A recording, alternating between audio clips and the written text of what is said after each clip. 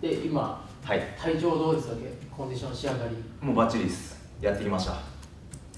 い。い感じいい感じで笑いが取れると思います。そんなんいらないです。いえいえ。はそれでいいと思ったんです。けどもうもうはい。あれですか？もうでもリラックスはすごいしてる感じですか？そうですね。もうやることはやってきたんであとは2日後は楽しみな状態です。はい今日いろんなところで、はい。あのそうそれこそタイガー選手とかともしはいしてたりとかしてましたけど、はい。今回このルールがキックっていうことはいで、はい。また試合前とかで違う感情とかってあるんですか？いやそんなにまあルールは違いますし、まあ、向こうの土俵でもあるんですけどまあキックボクシングはしないです僕はあのキックボクシングをすればあのやっぱり向こうの思うつぼなんで僕は総合格闘技の動きでちゃんと倒しに行きます。切りに行きますちゃんと。今回は切り合いや思ってるんでもうどっちが先に当てるかやと思ってます。まあ、あくまでも相手のその投票でやるけど自分のペースに持っていく。そうですね。そうしたいですねその練習をしてきたし。単純にこの那須川天心とはい。こう戦うっていうことは、はい。どういうことなんですか、どういうこと？いやもうなんやろ未知の未知の世界なんでもう相手のレベルが分かんないんでどういうこと？このなんですかキャリアを積んできて、はい。MMA をやってきた中ではい。このタイミングでキックボクシングのルールでやるっていうのって来るって思ってますいや思ってないです思ってないです。そんなんもうまさかしかも今世界一強いって言われてる那須川選手とはもうままずそんなことはありえないと思ってたんで。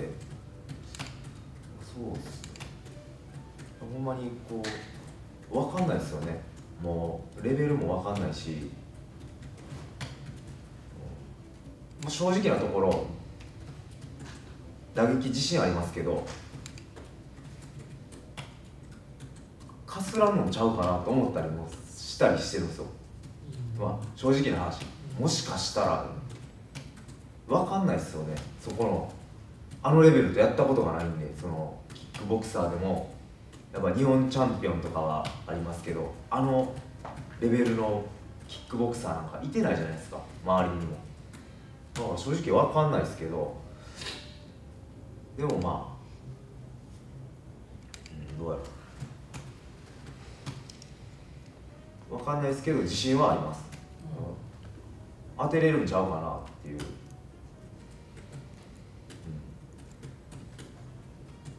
だから僕もにあの日本拳法3歳からずっとやってきてたんでそこの面で、うん、やっぱり自信があるんで先に触ってやろうと。そうですね。うん。先に当てたい当てたいですよね。はい。でこのライジンではい。生放送でだったり試合がテレビに流れるじゃないですか、はいはこれってこなんかあります？いいやあんま気にしてないですねそこに関しては。まあそこは全然気にしてないですね。でもなんはいか一個大きななんかチャンスでもないです。かまあチャンスですけどはい。まあそうですね。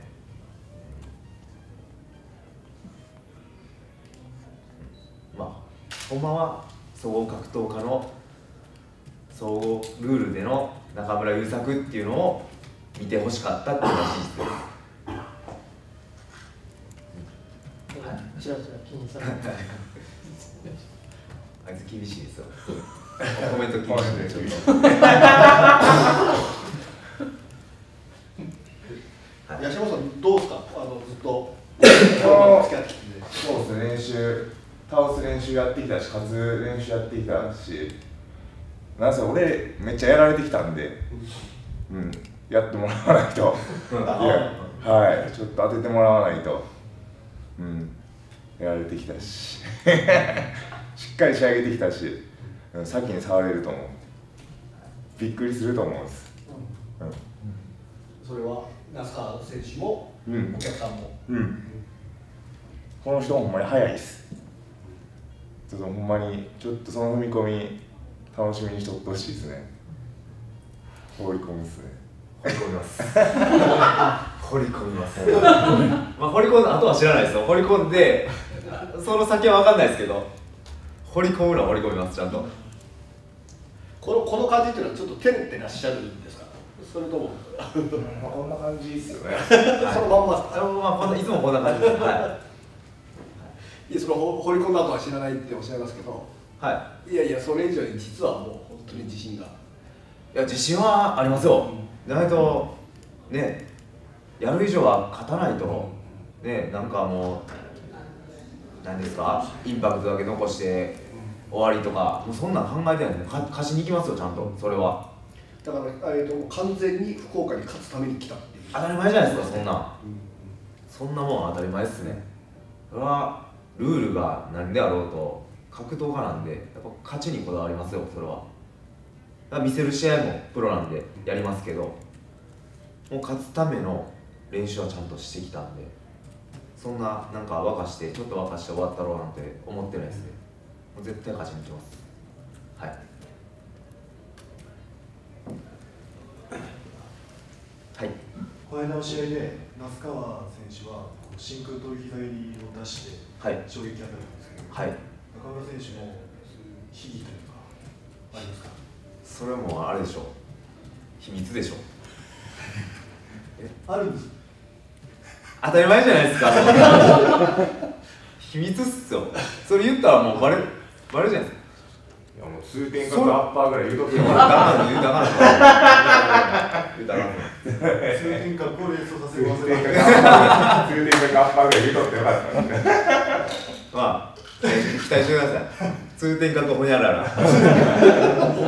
通天閣でめちゃめちゃ低いけどな